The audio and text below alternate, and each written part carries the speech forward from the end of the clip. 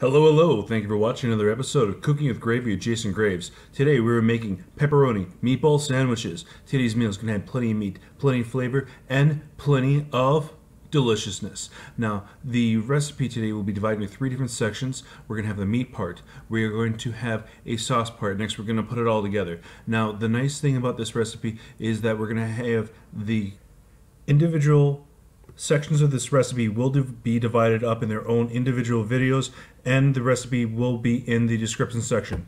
The reason that we did that it's because the meat and the sauce are so good that they can be used in individual recipes and when we start out this recipe this is going to be nice, easy, and lazy. Will go good on anything. Now the nice lazy thing about this is we're going to throw everything in there mix it and call it a day. Now we're throwing there right now one pound of hot Italian sausage, one pound of mild Italian sausage. We're going to have Italian seasoning we're throw in there, which is about half a tablespoon. We have fennel seeds. Now that's going to be one half tablespoon in there. We're going to have chopped up garlic, which is one tablespoon. Now we're just going to throw everything in there. We're going to mix it, cook it, and call it a day. Easy and lazy. Now an optional thing you can also add in there is 3 fourths to 1 cup panko breadcrumbs in there. Or you can use regular breadcrumbs. I usually prefer the panko ones. Uh, today's little visual is not going to have that, but it is definitely an option.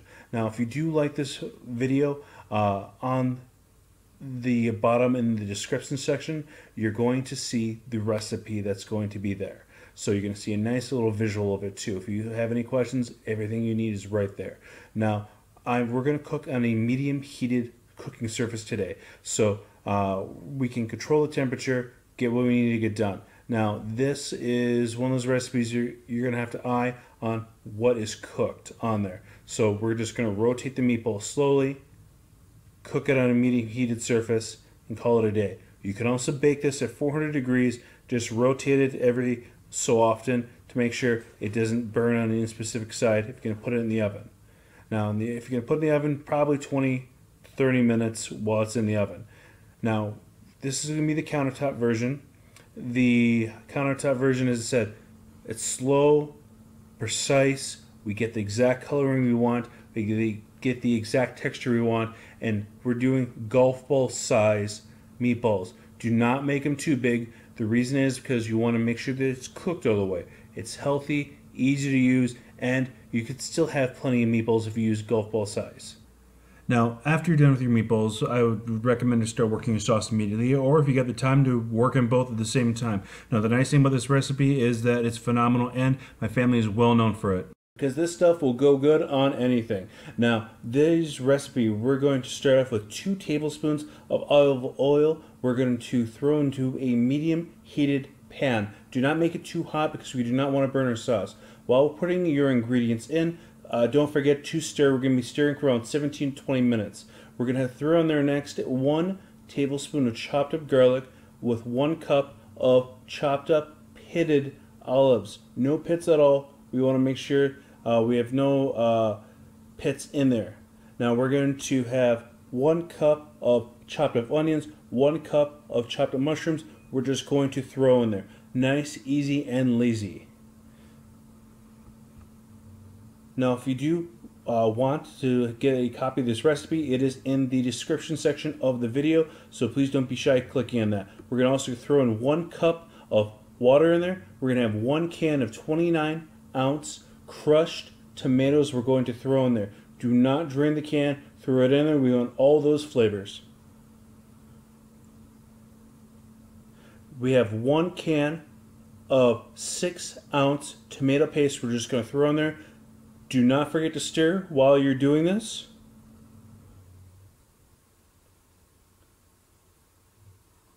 And we're going to have oregano we're going to toss in there. That's around one half teaspoon of oregano. Naturally, these seasonings can be altered later on.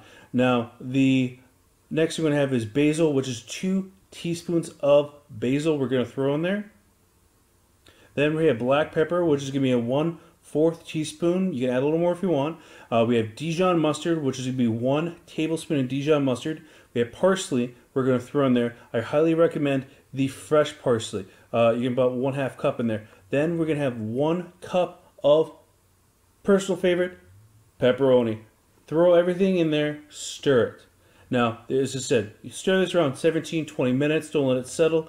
Now, after we're done with the main ingredients, we're going to just put all of this together. So this is just one of those things, we're just going to toss everything in. You're going to have a preheated oven at 400 degrees. You're going to have a medium heated pan that we're going to work with the rest of this. This is our meatballs that we're going to work with.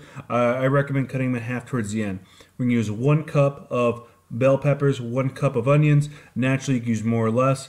I like plenty of Parmesan on there. You could even use powdered, powdered Parmesan. We're going to have some shredded cheese in there, and we are going to use one cup of pepperoni. Naturally, if you're a meat lover, throw more in there. Now, we're also going to be using some French bread today. Now, the you can use any bread you you want. It's your sandwich. But the reason we use French bread because I just like it for this texture purposes. Now, when we are going to work with the bread, we're going to melt the cheese in an oven. Never melt cheese in the microwave with bread. Why? Because you're going to make that bread chewy. Um, now we also hollowed out some of the French bread a little bit by taking some of the bread out because I don't like it as bready, and it also acts kind of as a bowl to keep our sauces in and our, our other items. Uh, when you're and one big tidbit I do not like about certain sub like subs or other certain sandwiches that have whole entire uh, meatballs in them. Uh, they leave them in whole. I think it's lazy. Throw them in cut up. The nice thing is when you do that, there's enough surface area so it doesn't fall out of the sandwich. You don't make a big mess. The idea is to enjoy your sandwich and not to clean up yourself. Now, we're just going to toss everything in there, all the cheeses, everything. Now, even if you want to, uh, even top it up with a little more cheese, melt it in the oven if you want. Uh, it's this is the part where you're gonna have to be creative to do whatever you feel like you're doing from this end. Now, as I said, I recommend even a little bit extra Parmesan cheese, even the powdered type uh, you can throw on there. Now, this is going to be our uh, famous sauce. We're just going to be throwing in there real quick. We I just needed a can to throw it in, so yeah. A little bit of a close-up. Now this is our final product right here. We had no complaints that day, so it's a pretty good meal. If you do like the recipe, please leave a like and subscribe, and I hope you have a great day, and thank you very much for watching. Bye.